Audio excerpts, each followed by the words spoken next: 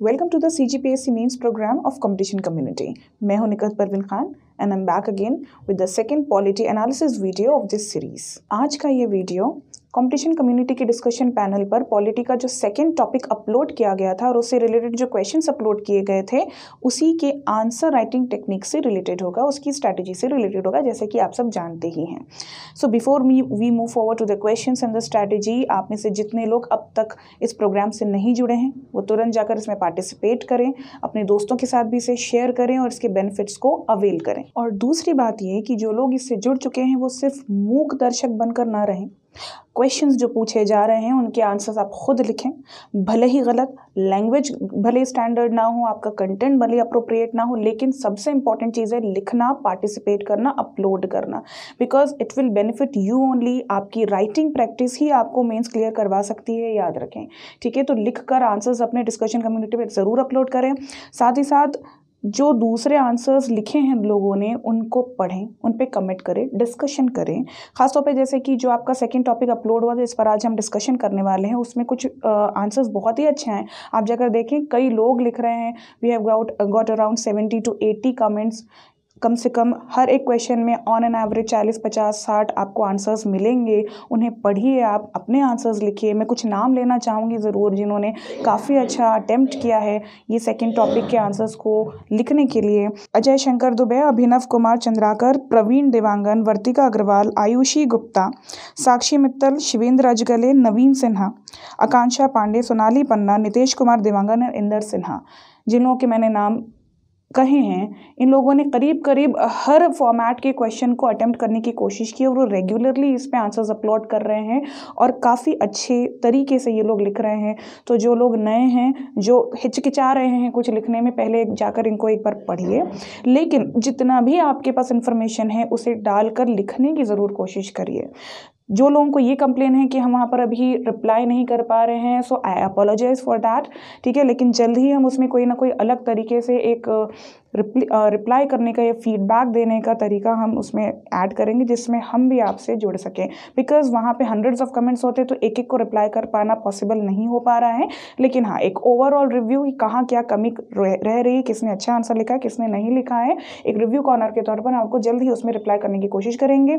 बाकी आप लोग खुद एक दूसरे के कमेंट्स पढ़ें आंसर्स पढ़ें, वो आपको ज़्यादा बेनिफिट देगा। Is that clear so let us now move on directly to today's topic जो आपका टॉपिक क्रिएट किया गया था, वो था आपका मौलिक अधिकार, कर्तव्य एवं नीति निदेशक तत्व। ये आप देख सकते हैं कि जो सीजीपीएससी में आपका मेंस के सिलेबस में पॉलिटी वाला पार्ट है, उसके जो सेकंड आप कह सकते हैं, मैंने जिस तरह से ना, चार हिस्सों में डिवाइड किया, मैंने जो सेकंड पार्ट है, उसमें ये फिलोसफी ऑफ़ द कॉन्स्टिट्यूशन यानी संविधान के दर्शन में से ये टॉपिक आता है।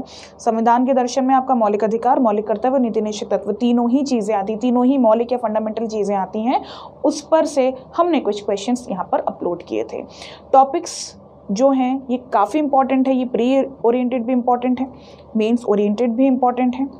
मौलिक अधिकार, मौलिक कर्तव्य आप सभी जानते हैं कि नागरिकों के लिए मौलिक है और जो डीपीएसपी है वो राज्य के लिए मौलिक है and it is fundamental for the state and fundamental rights and fundamental duties are fundamental for the citizens और the people living inside the country ठीक? देखिए जो इंग्लिश हिंदी वाली दिक्कत आ रही थी वो रिजॉल्व हो जाएगी जल्दी। उसमें आप आप उसको आप उससे परेशान ना हो ठीक है? जल्दी आपके जो क्वेश्चन हैं इंग्लिश में अपलोड किए जाएँगे और आंसर्स जो हैं आप इंग्लिश में कई लोग लिख भी रहे हैं ठीक है? आप भी लिखने की कोशिश करें। मेरे ख्याल से it is very easy to understand it is very easy in Hindi language as well तो वो समझ में आ जाता है कि वो इंग्लिश में क्या ट्रांसलेशन होगा। वैसे जल्द ही हम उसको इंग्लिश में करने की कोशिश करेंगे ठीक है?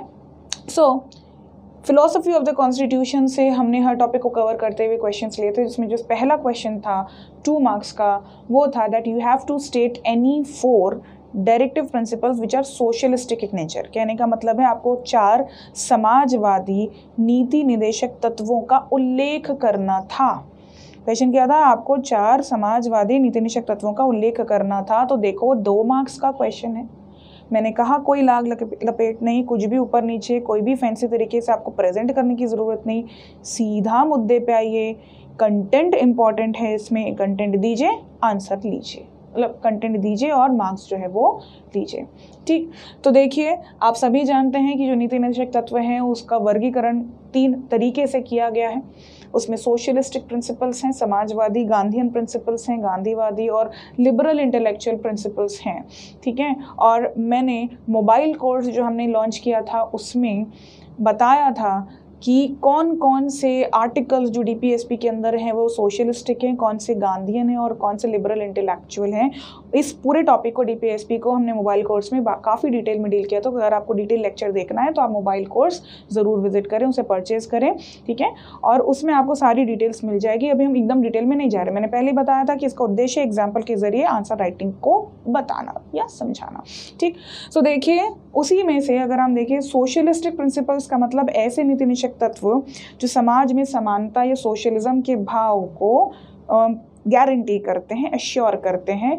तो आउट ऑफ़ सभी जानते हैं ना कि थर्टी सिक्स से फिफ्टी वन के बीच में पार्ट फोर में नीति निषेक तत्वों का उल्लेख है, ठीक? उनमें ये तीन हिस्सों में अलग अलग निदेशक तत्वों को डिवाइड कर दिया गया। जो जो सोशलिस्टिक प्रिंसिपल्स हैं, वो ये वाले आर्टिकल्स हैं। ठीक है, छत्तीस इक्यावन के बीच में समाजवादी सिद्धांतों को श्योर करने वाले जो नीति निषेक तत्व हैं, उसमें thirty eight thirty nine thirty nine A forty one forty two forty three forty three A forty seven ये आर्टिकल्स में जो डीपीएसपी है, उनमें से कोई चार आपको लिख देना था। क्वेश्चन देखिए, पूछा है चार तो चार ही लिखें। ठीक? आप चाहें तो एक्स्ट्रा मार्क्स फेच करने के लिए एक आध लाइन में आप सभी का उल्लेख सिर्फ़ आर्टिकल वाइज कर सकते हैं, सबका डिटेल नहीं। ठीक, वैसे तो मैंने कहा कि चार लिखिए, वैसे नॉर्मली जो होता है, दो मार्क्स के लिए दो ही लिखने आते हैं। जब दो ही लिखने आ रहे हैं तो वहाँ पे आपको आर्टिकल मेंशन करना बहुत ज़रूरी है। यहाँ पे जिस तरह से मैंने एक लिखा है कि भाई article thirty eight thirty nine A forty one और फोर्टी सेवन लोक कल्याण की अभिवृद्धि, समान न्याय और निःशुल्क विधिक सहायता, काम, शिक्षा और लोक सहायता पाने के अधिकार, पोषाहार स्तर और जीवन स्तर ऊँचा करना। ठीक है? ये एक आपका टू मार्क्स का आंसर हो सकता है, एकदम स्टैंडर्ड लेकिन क्योंकि चार पूछा है तो बेहतर होगा कि आप आर्टिकल का मेंशन करें। लेकिन क्या होता है ना, अगर आपने चार सही भी बता दिए हैं और एक साथ आपने आर्टिकल्स का उल्लेख कर दिया है तो भी आपको आंसर्स मिल जाएँगे, क्योंकि नंबर ऑफ़ प्रिंसिपल्स उसने ज़्यादा पूछा लेकिन अगर वो दो ही पूछता कि कोई दो गांधीवादी, कोई दो समाजवादी, कोई दो इंटेलेक्चुअल प्रिंसिपल्स को बताइए, तब वहाँ पे आर्टिकल्स बहुत इंपॉर्टेंट हो जाते। मैं ये नहीं कह रही हूँ कि अभी इसमें इंपॉर्टेंट नहीं है।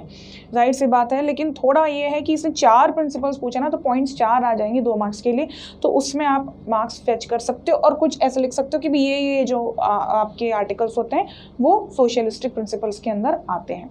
तो वैसे तो तरीका ये है कि आप इसे मेंशन करिए और इसे तो आपके दो मार्क्स कहीं नहीं गए आपको आगे पीछे कुछ भी लिखने की ज़रूरत नहीं। नहीं आ रहे आर्टिकल्स याद तो एक दो जो आ रहे हैं उनको लिख दो एक साथ सब लिख दो और चार लाइन से इनके जो व्याख्या है या उस आर्टिकल में क्या दिया है वो लिख दो डायरेक्ट डायरेक्ट लो और आंसर मतलब मार्क्स जो है वो ले लीजिए। इज़ इट क्लियर क्वेश्चन के हिसाब से ये पैराग्राफ फॉर्म में आंसर नहीं आएगा। हमेशा ये पॉइंट्स में ही आएगा। सब हेडिंग्स में नहीं पॉइंट वाइज आंसर करने का है। और ये जैसे सोशलिस्टिक प्रिंसिपल पूछा है गांधीन भी पूछ सकता है लिबरल इंटेलेक्चुअल भी पूछ सकता है सेम फॉर्मेट में। ये दो मार्क्स में भी पूछ सकता है, चार मार्क्स में भी पूछ सकता है। ठीक है? चार मार्क्स में भी मैक्सिमम चार या छः आएगा। ये ना सोचे कि आठ दस लिखने आ जाएँगे। इज़ इट क्लियर तो ये दो मार्क्स और चार मार्क्स के लिए इतना काफ़ी। ठीक? Now let us move on मैं और भी बताऊँगी ना और किस तरह के क्वेश्चंस बनते हैं। पहले तो जो अपलोडेड हैं उन पर डिस्कशन करते हैं। हम सेकंड क्वेश्चन पर मूव करते हैं जो आपका फोर मार्क्स का है। सो so, जो फोर मार्क्स का आपका क्वेश्चन था वो ये था कि आपको फंडामेंटल राइट्स और फंडामेंटल ड्यूटीज़ के बीच में एक कंपैरेटिव एनालिसिस करना था। मतलब एक तुलनात्मक अध्ययन करना था आपको मौलिक अधिकार और मौलिक कर्तव्यों के बीच में। तो देखिए ये जो क्वेश्चन है ये कंपैरेटिव एनालिसिस का है। और जैसे कि मैंने कहा था प्रेजेंटेशन वाले पॉइंट में, मेरे लास्ट वीडियो में, कि प्रेजेंटेशन को आप क्रिएटिव बनाएँ और जो क्वेश्चन की डिमांड है, उस पर वार करने की कोशिश करें। तो क्योंकि कंपैरिजन पूछ रहा है कंट्रास्टिंग पूछता है कंपैरिजन पूछता है तो आपके पास पीएससी सीजीपीएससी में तो ये छूट रहती है कि आप बिल्कुल एक कंपैरिजन टेबल ड्रॉ करके इसे बता सकते हैं। अगर आप यूपीएससी में लिख रहे होते हैं तो आपको पैराग्राफ में ही करना पड़ता। आप पॉइंट्स में भी कर सकते हैं इस आंसर को आप पॉइंट्स में भी कर सकते हैं और आप इसको इस तरह से डिफरेंस टेबल बनाकर भी आंसर कर सकते हैं। ये इसके, आपके पास खुली छूट है इसके लिए। प्रेजेंटेशन आप जितना भी क्रिएटिव बनाना चाहें बना सकते हैं। ठीक है? सो डिमांड वॉज़ कि आप इसे डिफरेंस टेबल में बनाएँ या पॉइंट्स में करके बनाएँ। तो देखिए फोर मार्क्स का ये क्वेश्चन है तो ज़ाहिर सी बात है सिक्सटी वर्ड्स का है ये। और जब पॉइंट्स में आ जाती है कोई बात तो फिर आपके वर्ड से ज़्यादा पॉइंट्स जो है वो मायने रखते हैं। ठीक फंडामेंटल राइट्स फंडामेंटल ड्यूटीज़ के बीच का डिफरेंस काफ़ी ही एक आसान क्वेश्चन है और हम सभी जानते हैं कि इसकी जो तीन चार बेसिक चीज़ें ये हर कोई लिखेगा ही। ठीक है कि ये कौन से पार्ट में है, कौन से आर्टिकल में है। बाद में जो चीज़ें मैंने लिखी हैं, आप, ऐसा नहीं है कि अगर आपको चार मार्क्स का लिखना है और आपका चार पॉइंट्स लिखना है तो पहले दोनों ऐसा पार्ट और आर्टिकल लिख करके आप ख़त्म कर दें। कोशिश करें कि अगर आप इसे डिफरेंस टेबल पर रख भी रहे हैं तो साथ ही साथ कम से कम इनमें से तीन ऐसे पॉइंट्स लिखें जो थोड़े वैल्यूएबल हैं, जिसमें आपको मार्क्स स्कोर करने में आसानी होगी। क्योंकि ये जो पार्ट है कि इनिशियल की कौन से पार्ट में, कौन से आर्टिकल में है, ये तो मैक्सिमम लोग लिखेंगे ही। ध्यान रखें इस चीज़ को ना, यू देखो, बहुत सारे लोग आंसर लिख रहे होते हैं। ठीक है? आप जाकर देखेंगे जब आप अभी जो डिस्कशन कम्युनिटी पे आपके आंसर्स भी अपलोड हैं, आपको, आपका आंसर अलग लगेगा। जब आप सबके आंसर्स देखेंगे तो आपको लगेगा कि यार एट्टी परसेंट चीज़ें तो सेम ही हैं। तो नज़र उस आंसर पर जाती है जिसने कुछ अलग तरीके से, कुछ अलग तथ्यों के साथ उस आंसर को लिखा है। तो you need to have that edge over others उसके लिए आपको कुछ डिफरेंट करना पड़ेगा। अगर क्वेश्चन सिंपल है तो आपको कुछ वैरायटी उसमें ऐड करनी पड़ेगी। तो देखिए मौलिक अधिकार और मौलिक कर्तव्यों के बीच में तुलनात्मक अध्ययन हम सभी जानते हैं कि मौलिक अधिकार जो है पार्ट थ्री में है फंडामेंटल ड्यूटीज़ जो है वो पार्ट फोर ए में है। ठीक आर्टिकल 12 से 35 जो है वो फंडामेंटल राइट्स हैं आर्टिकल 51 ए जो है वो फंडामेंटल ड्यूटीज़ हैं। और ये भी दिया गया है कि जो फंडामेंटल राइट्स हैं, वो मेजॉरिटी ऑफ़ देम एक्सेप्शन है, वो हम जानते ही हैं। मेजॉरिटी ऑफ़ देम जो है वो भारत के नागरिक और विदेशी जो भारत में रहे उन सब के लिए। मौलिक अधिकार जो हैं, वो सिटीजन्स के लिए भी हैं और एलियंस के लिए भी हैं। ये सिर्फ़ सिटीजन्स के लिए नहीं है। जबकि फंडामेंटल ड्यूटीज़ जो हैं, वो सिटीजन्स के लिए ही हैं मेनली ठीक है? मतलब हमारा जो देश है, वो विदेशियों से जो उस वक्त देश में रह रहे हैं, विदेशियों से कोई मौलिक कर्तव्य जो है, उसकी एक्सपेक्टेशन नहीं करता है। लेकिन फंडामेंटल राइट्स जो हैं, वो जो हैं एलियंस और सिटीजन्स दोनों के लिए दिए गए ठीक है? उसके अलावा, अगर हम इसकी डेफिनेशन पर जाएँ तो मैंने शॉर्ट में लिखा है इसे डिफाइन करके लिखेंगे कि fundamental rights are actually the moral responsibilities of the country towards its people मौलिक अधिकार क्या हैं? इस देश की जो नैतिक जिम्मेदारियाँ लोगों के प्रति बनती है वही हमारे मौलिक अधिकार हैं, ठीक? और अगर इसको रिवर्स कर दें the moral responsibilities of the people towards the country लोगों की जो नैतिक ज़िम्मेदारी देश के प्रति बनती है, वो मौलिक कर्तव्य है। तो बिल्कुल सेम लैंग्वेज में एक रिवर्स डेफिनेशन के ज़रिए आप डिफ्रेंशिएट कर पाएँगे। Actually it is a differentiation ठीक है? तो देखिए कंट्री की जो मॉरल रिस्पॉन्सिबिलिटी है और पीपल की रिस्पॉन्सिबिलिटी आप अपने तरीके से इसे डिफाइन कर सकते हो। ठीक है? उसके अलावा अगर आप देखें कि इसका डेफिनेशन में आप ऐड कर सकते हो, जो सेवन पॉइंट मैंने लिखा है कि जो फंडामेंटल राइट्स हैं, उसका जो उद्देश्य होता है या उसके ज़रिए जो अचीव करना चाहता है संविधान, वो है इंडिविजुअल वेलफेयर यानी व्यक्तिगत जो है वेलफेयर संविधान एनविसाज करता है फंडामेंटल राइट्स के ज़रिए, ताकि इसमें मैंने कुछ और एम्स में लिखा है कि फंडामेंटल राइट अगर भारत के नागरिकों को मिला, मिलेगा, यहाँ रहने वाले लोगों को मिलेगा तो उनका ओवरऑल डेवलपमेंट होगा। वो एक डिग्निटीफुल लाइफ जो है वो जी सकेंगे। तो ये सारी चीज़ों को उद्देश्यों के तौर पर आप अलग से ऐड कर सकते हैं। जबकि अगर आप फंडामेंटल ड्यूटीज़ की बात करें तो संविधान में इन्हें डाले जाने का उद्देश्य व्यक्तिगत वेलफेयर से ज़्यादा पब्लिक वेलफेयर था। यानी कि व्यक्तिगत कल्याण से ज़्यादा जन कल्याण, ठीक है कि अगर लोग फंडामेंटल ड्यूटीज़ को फॉलो करेंगे तो इसे सभी का भला होगा। अगर नागरिकों को फंडामेंटल राइट्स दी जाएगी तो हर एक नागरिक का भला होगा, लेकिन अगर फंडामेंटल ड्यूटीज़ लोग फंडामेंटल ड्यूटीज़ का निर्वाह करेंगे लोग तो उसे एक होता है ना, देश का जो है वो भला होगा। तो इस तरह से ये जो है, ये इंडिविजुअल वेलफेयर पे टारगेटेड है और ये पब्लिक वेलफेयर ठीक है, व्यक्तिगत और ये जन कल्याण। साथ ही साथ जो एम्स में मैंने कहा कि आप सभी जानते हैं कि फंडामेंटल राइट्स में इनिशियली हम पढ़ते हैं कि फंडामेंटल राइट्स को फंडामेंटल बोला ही इसलिए गया है कि ये जो है, ये टारगेट करता है overall development of the masses inside a country ठीक है? देश के अंदर जो लोग रह रहे हैं, उनके पूर्ण विकास, संपूर्ण विकास की ओर ये मेनली टारगेट करता है और इसीलिए इसे रखा गया है ताकि ये सुनिश्चित किया जा सके कि सभी का पूर्ण विकास हो। तो इसका मेन जो target according to the constitutionalist है, वो overall development of an individual है और हर व्यक्ति को डिग्निटीफुल लाइफ देना। जबकि अगर हम फंडामेंटल ड्यूटीज़ की टारगेट की बात करें एम की बात करें तो दायित्व बोध कराना, यहाँ के जो लोग हैं, उनको दायित्व बोध कराना, उनको रिस्पॉन्सिबल बनाना, एक रिस्पॉन्सिबल सिटीजन के तौर पर उनका विकास करना, ये उद्देश्य है फंडामेंटल ड्यूटीज़ को ऐड करे जाने का। एज सिंपल एज दैट ठीक है?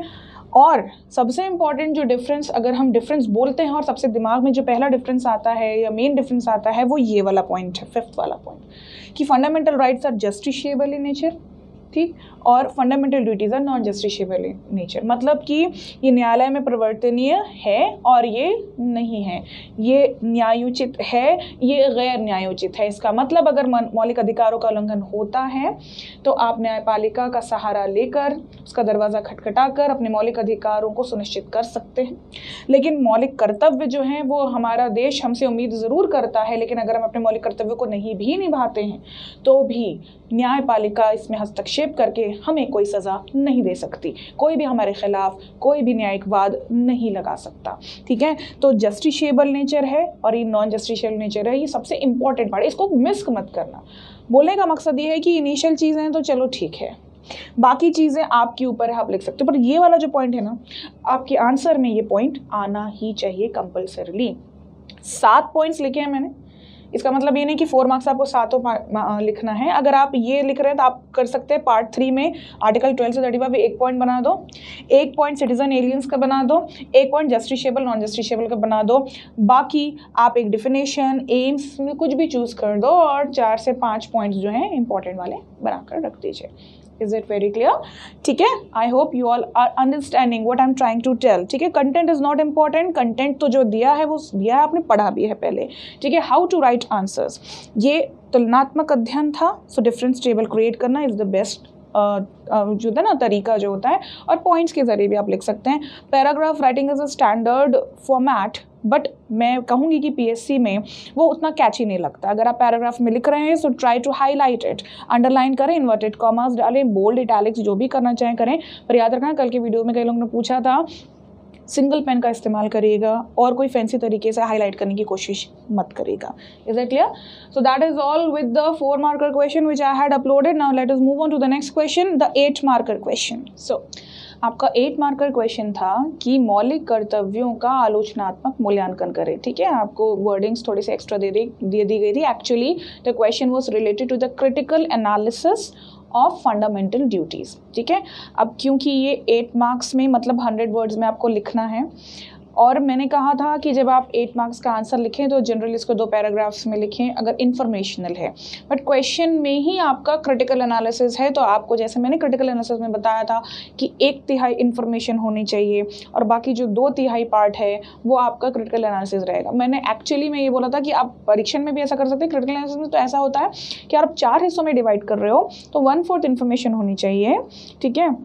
और जो आपका थ्री फोर्थ है, वो एनालिसिस होना चाहिए। एनालिसिस में क्योंकि क्रिटिकल है, आलोचनात्मक है तो इसलिए नेगेटिव पहलुओं को ज़्यादा करना है और आपको आखिरी में एक समराइज़ करके थोड़ा सा पॉजिटिव पहलू को ऐड कर देना है। तो वो जो एनालिसिस है, वो थ्री फोर्थ पार्ट होना चाहिए और वन फोर्थ पार्ट जो है, वो इन्फॉर्मेशन होनी चाहिए। ठीक है, अगर ये सिर्फ़ इन्फॉर्मेटिव क्वेश्चन होता तो आप सिर्फ़ और सिर्फ़ आप पॉइंट्स लिख करके उसे न स्टार्ट करते ना कंक्लूड करते सिर्फ़ पॉइंट्स लिख देते हैं। लेकिन क्रिटिकल एनालिसिस है तो आपको याद रखिएगा, थोड़ी सी इन्फॉर्मेशन दीजिए, बाकी आलोचना करिए, थोड़ा सा पॉजिटिव लीजिए और कंक्लूड कर दीजिए। ठीक? तो देखिए, आप इसे ऐसे शुरू कर सकते हैं। आप डायरेक्टली आलोचनाओं पर या आलोचनात्मक मूल्यांकन पर ना आए और इसे आप ऐसे स्टार्ट कर सकते हैं कि ठीक थोड़ा सा आपको इंट्रोडक्शन देना पड़ेगा क्योंकि वो एक चौथाई हिस्सा आपको इन्फॉर्मेशन देनी पड़ेगी।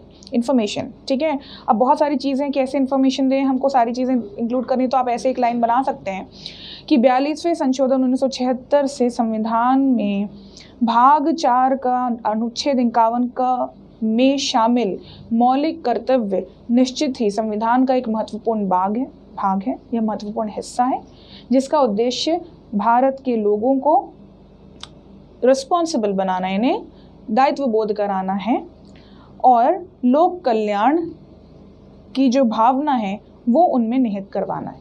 ठीक है, इस तरह से आपने क्या किया? कि संशोधन से ऐड किया गया? कौन से आर्टिकल में एडेड है? कौन से भाग में एडेड है, ये सब आपने एक लाइन में बता दिया। ठीक है, आप चाहें तो ऐसे भी बोल सकते हैं कि मतलब उसमें कितनी ड्यूटीज़ हैं, वो भी उसी एक लाइन में बता सकते हैं कि बयालीस संशोधन उन्नीस सौ छिहत्तर से संविधान के भाग चार, क में इक्यावन, क में ग्यारह ड्यूटीज़ जो जोड़ी गई। यहाँ पे आपकी ने सारी इन्फॉर्मेशन दे दी ना कि आपको पता है कि आप किसकी आलोचना करने जा रहे हो। ठीक है? और वो एक इंपॉर्टेंट भाग है, आपने ऐसा स्टार्ट कर दिया, एक चौथाई आपने इन्फॉर्मेशन दे दी। लेकिन इसमें कुछ कमियाँ हैं जिसकी अलग अलग पैमाने पे आलोचना की गई हैं और फिर आप आ जाइए आलोचना पर। ठीक है, एक छोटा सा पैराग्राफ लिखने के बाद फिर जिन जिन तरीक़ों से उनकी आलोचना है, जिन जिन कारणों से उनकी आलोचना हुई है, उन तरीक़ों पर आ जाइए। फिर जब आप आलोचना करें तो आप पॉइंट वाइज भी लिख सकते हैं, आप इसको पैराग्राफ बदल बदल कर भी लिख सकते हैं, आप सब हेडिंग करके भी लिख सकते हैं, ये आपको खुली छूट है।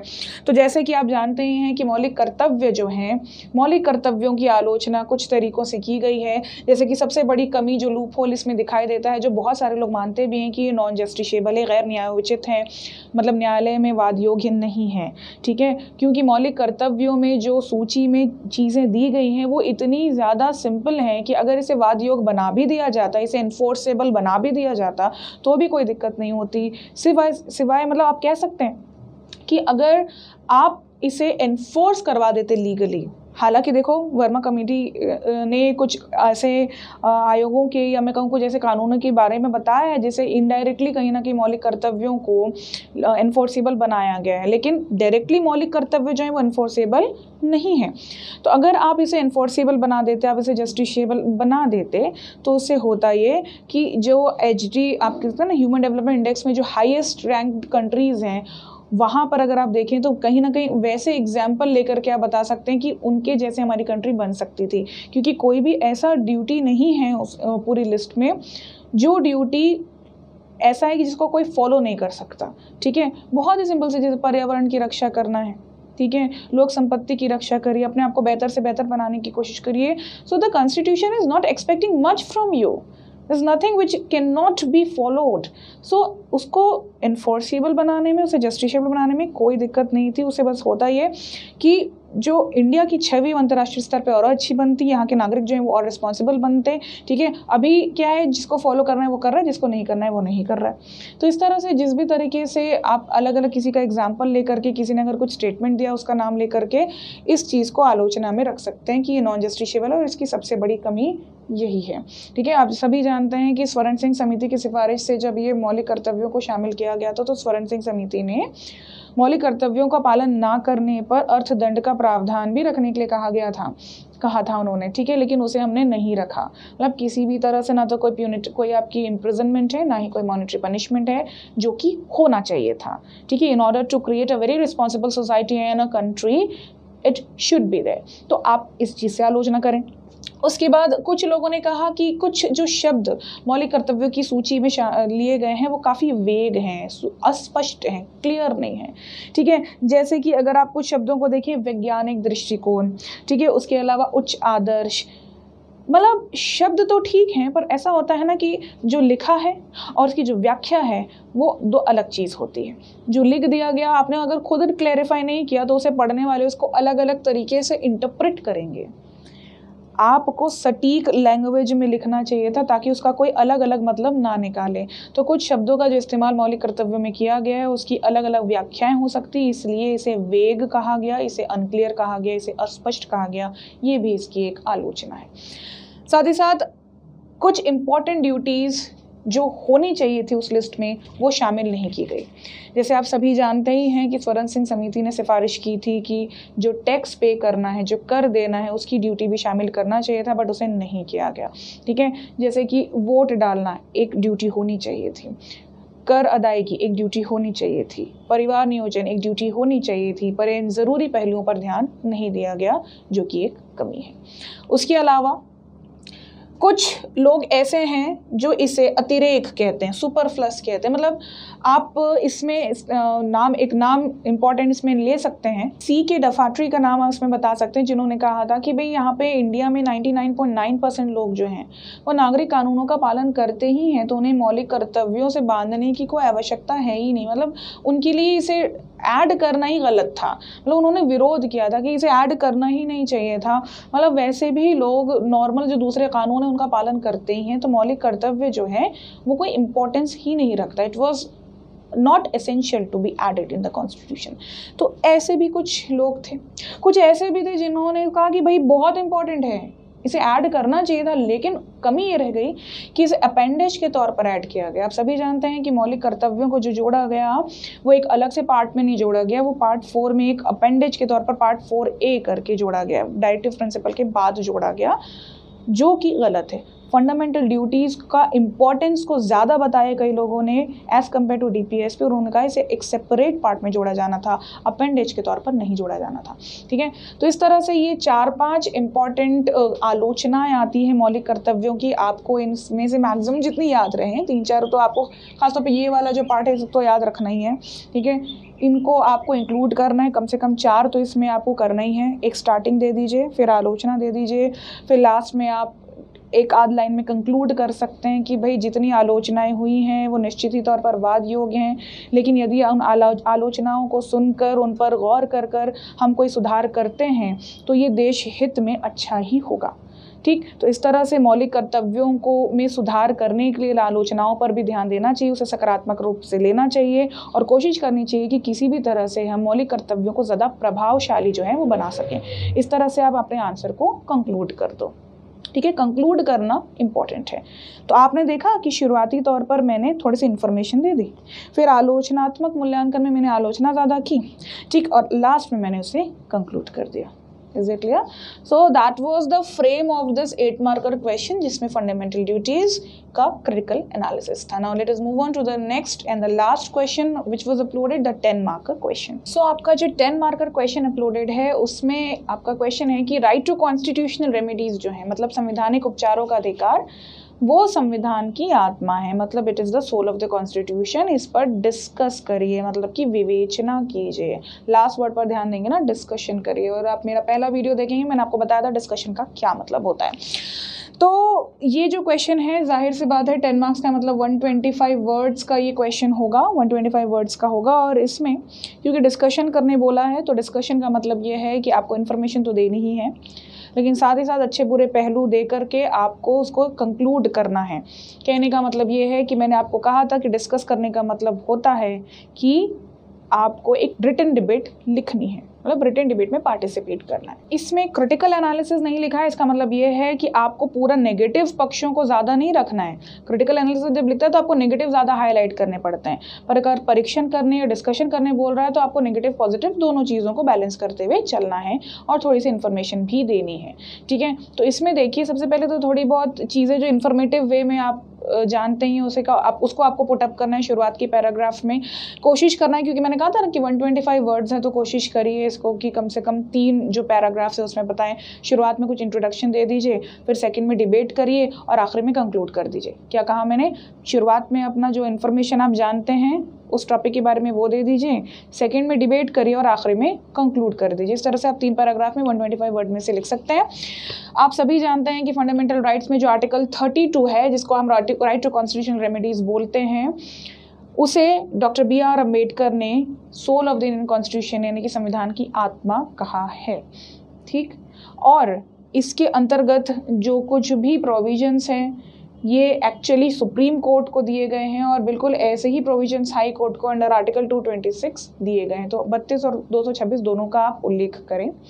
और बताएँ कि राइट टू कॉन्स्टिट्यूशन रेमेडीज़ जो हैं, उसे संविधान में रिट याचिकाओं के ज़रिए इंश्योर किया गया है। इन्फॉर्मेशन पे जा रहे हैं ना, अभी हम एनालिसिस पे नहीं आ रहे हैं या उसकी विवेचना नहीं कर रहे हैं। बताएँ कि राइट टू कॉन्स्टिट्यूशन रेमेडीज जो है फंडामेंटल राइट्स में आर्टिकल 32 में है। ठीक? और इसे बी आर अंबेडकर ने अंबेडकर का नाम इंपॉर्टेंट है क्योंकि उनका ही कथन है। अंबेडकर ने संविधान की आत्मा कहा है और इस राइट टू कॉन्स्टिट्यूट रेमेडीज़ के ज़रिए के तहत रिट का इस्तेमाल करके इसे सुनिश्चित किया जाता है। तो आप थोड़ा सा इन्फॉर्मेशन यहाँ पर दे दीजिए। ठीक? फिर जो आप सेकेंड पैराग्राफ में आएँगे, उसमें आप ये बताएँगे कि क्यों ऐसे ऐसे कहा गया। डिस्कशन करने बोला है तो इसमें पॉजिटिव ज़्यादा जाएँगे आप, क्योंकि ऐसा कहा है मतलब कुछ ना कुछ उसमें पॉजिटिव चीज़ें होंगी, इसलिए कहा गया। तो पॉजिटिव ज़्यादा जाएँगे, आखिरी में कादलान में काउंटर करेंगे और लास्ट में आप कंक्लूड कर देंगे। तो पॉजिटिव में ये है कि भाई क्यों कहा? बी आर अंबेडकर ने इसे इसलिए ऐसा कहा क्योंकि ये वो अधिकार है, ये वो आर्टिकल है जो फंडामेंटल राइट्स को एक्चुअली गारंटी करता है यहाँ के लोगों को। हम सभी जानते हैं, इसमें आप रोल ऑफ़ जुडिशरी भी डालिए कि आर्टिकल 32 ये कहता है कि भारत की न्यायपालिका के पास यदि आप रिट याचिकाएँ लगाते हैं, अगर आपके मौलिक अधिकारों का उल्लंघन होता है और आप रिट याचिकाएँ लगाते हैं तो न्यायपालिका रिट ऑर्डर्स जारी करके आपके फंडामेंटल राइट्स आपको सुनिश्चित करवा कर दे सकती है। ठीक है? तो क्योंकि अगर ये आर्टिकल नहीं होता अगर ये प्रावधान नहीं होता तो सारे मौलिक अधिकार जो हैं वो शक्तिहीन हो जाते, अर्थहीन हो जाते, इसलिए ये काफ़ी इंपॉर्टेंट है। ठीक है? अगर आर्टिकल 32 नहीं होता तो फंडामेंटल राइट्स हमें देने का कोई मतलब नहीं होता, क्योंकि यही वो आर्टिकल है जिससे वो हमें गारंटी की जा रही है। ठीक है? तो 32 ही इसको एक्चुअली इनैक्ट कर रहा है एक्टिवेट कर रहा है इन्फोर्स कर रहा है, इसलिए इसे सोल ऑफ़ द कॉन्स्टिट्यूशन कहा गया। ये सारे पॉइंट्स आप ऐड कर सकते हैं कि ये हमें गारंटी करता है। ठीक है? जुडिशरी का रोल इसमें आप हाईलाइट कर दीजिए। उसके अलावा आर्टिकल 32 जो है वो नॉन अमेंडेबल है। ठीक है? मतलब ये ऐसा प्रावधान है जिसे आप संशोधन नहीं कर सकते। ठीक? उसके अलावा आर्टिकल 32 के तहत सिर्फ़ मौलिक अधिकार ही नहीं, और दूसरे जो दिगर अधिकार आपको दिए गए हैं देश में, जैसे कि वैधानिक अधिकार, जैसे कि दूसरे संवैधानिक अधिकार, उन सब के लिए न्यायपालिका के पास पावर है अंडर आर्टिकल थर्टी टू कि वो रिट जारी कर सकता है या कोई ना कोई ऑर्डर पास कर सकता है। तो थर्टी टू आपके हर तरह के अधिकार, मौलिक अधिकारों के साथ साथ हर तरह के अधिकारों की सुरक्षा करता है, इसलिए संविधान की आत्मा है। आई बात समझ में? इन सभी चीज़ों को आप ऐड करके क्यों ऐसा बोला जा रहा है, उसे हाईलाइट करें। ठीक? तो इसमें पॉजिटिव ज़्यादा हाईलाइट करना है ना? उसके बाद फिर लास्ट में आप बोल दें कि भाई, जो पाँच तरह के रिट्स हैं, कई लोग इसमें सीधा सीधा रिट्स लिख देंगे तो ये पूछा ही नहीं गया, ध्यान रखें ना। रिट्स का थोड़ा सा मेंशन ज़रूर करना है। आप जब शुरुआती पैराग्राफ लिख रहे हैं कि इसे रिट्स के ज़रिए इन्फोर्स किया जा रहा है तो उसमें आप रिट्स पाँचों रिट्स जो हैं आपकी, उनका नाम उल्लेखित कर सकते हैं। ठीक है? बट आपको हाईलाइट इस पॉइंट को करना है, क्योंकि डिस्कस करने के लिए कहा गया है। ठीक है? आप चाहें तो अपने आंसर को बड़ा बनाने के लिए एक एक लाइन में उन रिट्स को शुरुआती पैराग्राफ में बता भी सकते हैं, पर रिट के टाइप्स इसका मेन आंसर नहीं होगा। क्यों ऐसा बोला गया? ये सारे पॉइंट्स जो ये इंपॉर्टेंट होंगे। आखिरी में जब आपने ये बता दिया कि भाई इसी वजह से इसे सोल ऑफ़ द कॉन्स्टिट्यूशन बोला जाता है तो आप थोड़ा सा क्योंकि डिस्कशन है तो एक आध नेगेटिव पॉइंट भी डाल देंगे आप कि ये जो पाँच तरह के रिट्स इसमें दिए गए हैं, ऐसा है कि ये सफिशेंट नहीं है। ये सभी तरह की मौलिक अधिकारों की रक्षा कर रहे हैं, ऐसा नहीं दिखाई देता। ठीक है? कुछ एक विशेष तौर पे अधिकार हैं, ख़ासतौर पे आपके जो राइट टू फ्रीडम वगैरह हैं, उससे रिलेटेड कुछ सुरक्षा हमें दिखती है, लेकिन हर तरीके के मौलिक अधिकारों को कवर करते हुए ये रिट्स नहीं दिखते तो उसमें कुछ और रिट्स कंपलसरी तौर पर कॉन्स्टिट्यूशन में डाले जाने चाहिए थे। ठीक? तो इस तरह से आप एक आध दो पॉइंट्स जो इसकी कमियाँ लग रही हैं आर्टिकल 32 की जो कमियाँ लगती हैं जुडिशरी के पावर में जो कुछ judiciary is the custodian of Indian constitution लेकिन उसके पावर में जो आपको कमी लगती है, मौलिक अधिकारों से संबंधित, ठीक है, ये आर्टिकल 32 में उल्लेखित रिट से संबंधित जो भी आपको कमियाँ लग रही है इंडिविजुअल कमियाँ भी गिना सकते हैं मैंडेमस में क्या कमी लग रही है, आपको प्रोहिबिशन में क्या कमी लग रही है, आपको एबीस कॉर्पस में क्या कमी लग रही क्यों वारंटो में क्या कमी लग रही इन कमियों को भी आप एक आध दो लाइन में आखिरी में डाल करके फिर आंसर को कंक्लूड कर सकते हैं, लेकिन कंक्लूजन अगेन पॉजिटिव होना चाहिए क्वेश्चन पॉजिटिव नोट पे पूछा है, ठीक है, कि निश्चित तौर पर कुछ ना कुछ लूप होल्स हर एक प्रावधान में होते हैं, लेकिन इससे डिनाई नहीं किया जा सकता कि आर्टिकल 32 निश्चित तौर पर भारत में मौलिक अधिकारों को, नागरिकों को गारंटी करने में मदद करता है और इसीलिए अंबेडकर ने जो ये कथन कहा है, ये बिल्कुल सही है, बिल्कुल अप्रोप्रिएट है। इस तरह से आप अपने आंसर को कंक्लूड कर सकते हैं। इज़ इट क्लियर तो तीन पैराग्राफ में डिवाइड करेंगे, शुरुआत में इन्फॉर्मेशन देंगे रिट्स वगैरह की जो जानकारी देने शुरुआती में दे दीजिए, ठीक है? आर्टिकल पार्ट जो की जानकारी देनी शुरुआत में दे दीजिए। सेकंड पैराग्राफ डिस्कशन होगा डिस्कशन पॉजिटिव नोट में होगा, थोड़ा सा नेगेटिव लेंगे और कंक्लूड कर देंगे। Is it clear very easy ठीक? तो मैंने आपको कल की ही वीडियो में कहा था, जो लोग नहीं नहीं देखा है, कल ज़रूर देखें शुरुआती जो पार्ट्स हैं, उसमें आपके जो लास्ट वर्ड्स होते हैं, वही डिसाइड कर दे कि आपको आंसर को किस दिशा में लिखना है, वो ही इंपॉर्टेंट है। नॉलेज है, लेकिन उसको कैसे प्रेजेंट करना है, उसके लिए वो लास्ट के वर्ड्स बहुत इंपॉर्टेंट है जानने। ठीक है? So that is all with all the question which were uploaded with the discussion of all the question which were uploaded लेकिन मैंने कहा था कि इतने ही क्वेश्चन आने के चांसेस नहीं है, और भी तरह के क्वेश्चन बन सकते हैं, और मैंने जैसे कल की वीडियो में आपको बताया था कि जो जो क्वेश्चंस मैंने क्रिएट किए हैं, अगर मैंने टू मार्क के लिए क्रिएट किया तो वो एक टेन मार्क के लिए भी आ सकता है फोर के लिए भी एट के लिए भी। और ये जो टेन मार्क्स वाला क्वेश्चन है, ये आपका टू मार्क के लिए भी आ सकता है। और उसे कैसे कैसे अलग तरीके से लिखना है, ये मैंने लास्ट वीडियो में बताया था कि टू फोर एट टेन इनके, इनको कैसे डील करना है, ठीक है? तो ये क्वेश्चंस तो अलग अलग फॉर्मेट में आप बना कर रखे ही। साथ ही साथ मैं आपको इन टॉपिक्स में से कुछ और क्वेश्चंस भी बताती हूँ।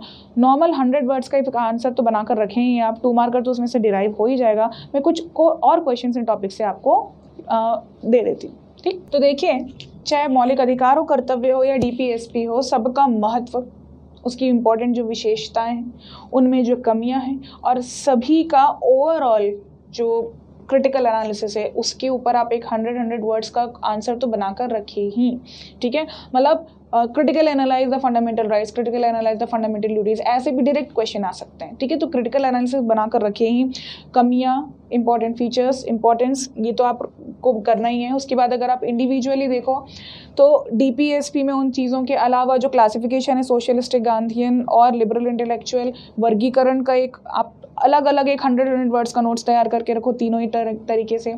उसके अलावा मौलिक अधिकार और नीति निषेक तत्वों के बीच में टकराव आता है, उसका भी उल्लेख कई किताबों में दिया रहता है तो उस टकराव के ऊपर एक हंड्रेड वर्ड्स का आंसर आप तैयार करके रखें। उसके अलावा जो आपकी डीपीएसपी है, जो आपके नीति निषेक तत्व है, उसकी उपयोगिता यूटिलिटी के ऊपर भी आपको लेख मिलेंगे, उस पर एक हंड्रेड वर्ड्स तैयार करके रखें।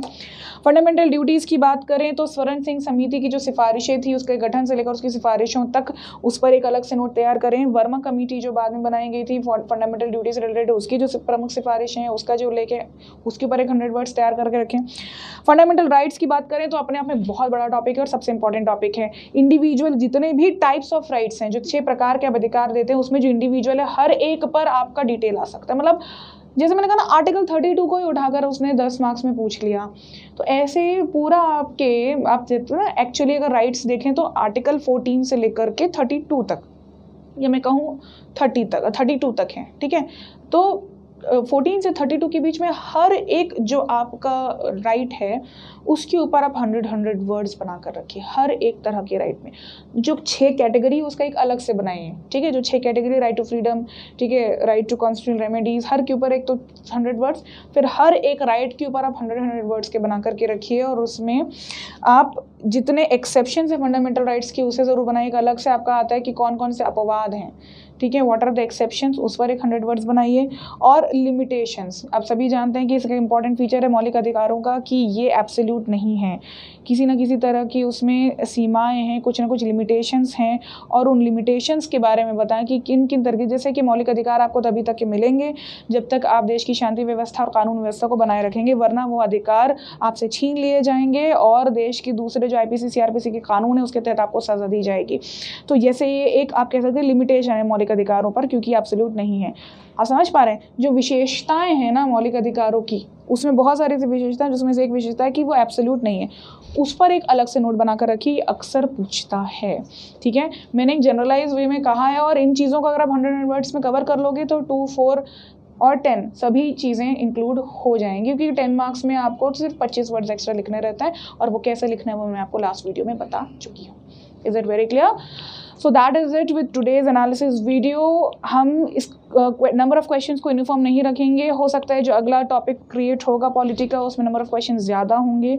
ठीक है? डायरेक्टली हम आंसर्स भी ले सकते हैं या फिर हम इस तरह से क्वेश्चन बता देंगे, बना देंगे।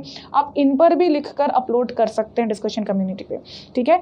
आप जो टॉपिक है, जैसे कि आप ऐसा कर सकते हैं कि भाई हमने एक क्वेश्चन टू मार्कर आपसे पूछा, ठीक है? और आपको लगता है कि मैंने बताया था कल आपको कि भारत राज्य की प्रकृति पर टू मार्कर क्वेश्चन मैंने पूछा और आपको ऐसा लगता है? और मैंने कहा था कि उसको आप फोर मार्क्स एट मार्क्स और टेन मार्क्स में भी लिख सकते हो। आपको लगता है कि मैं हर तरीके से लिख कर देखना चाहता हूँ?